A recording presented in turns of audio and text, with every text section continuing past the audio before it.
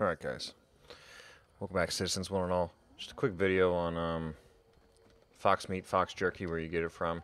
It's going to be Big Fred's Barbecue Shack, which is coincidentally where the, uh, the Sheepsquatch event start, starts out. So, let's let's get into the menu first.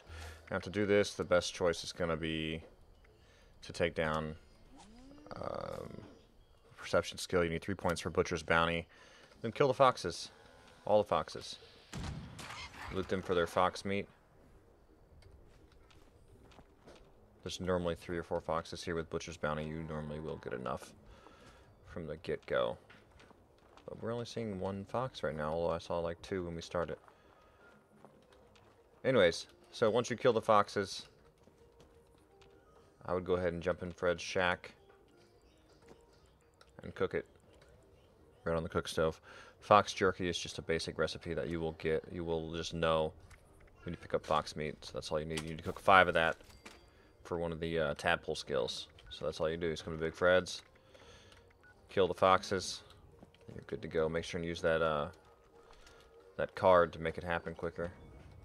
That's it guys, just a little quick pointer. Hopefully it helps out with the foxes. I don't really know if they spawn anywhere else like they do here. But thanks for watching guys, y'all have fun the wasteland. Goodbye.